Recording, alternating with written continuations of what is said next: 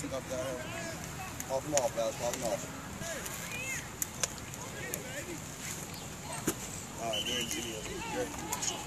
Our Father, who art in heaven, hallowed be thy name. Thy kingdom come, thy will be done, on earth as it is in heaven. Give us this day our daily bread. Forgive us our trespasses, as we forgive those who trespass against us. Lead us not into temptation, but deliver us from evil. Thine is the kingdom, power, and glory,